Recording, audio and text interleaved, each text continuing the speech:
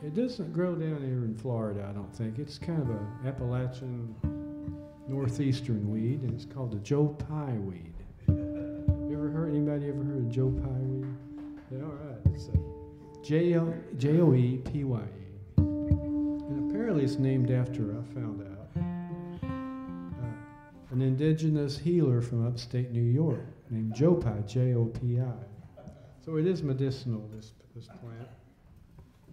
And, uh, but I got this. Uh, uh, my belief is it comes along in late summer and when the conditions are just perfect, you know, when the stars are out, when the crickets are singing and the, and the cicadas are singing and the stars are out. Maybe a moon might peek its head out there.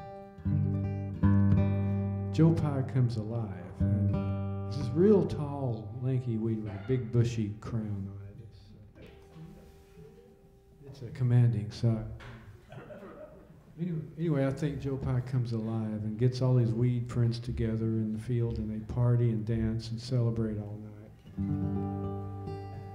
Uh, the reason I think this is because certain mornings you can look over and see Joe Pye weed all slumped over. Like didn't have much sleep the night before.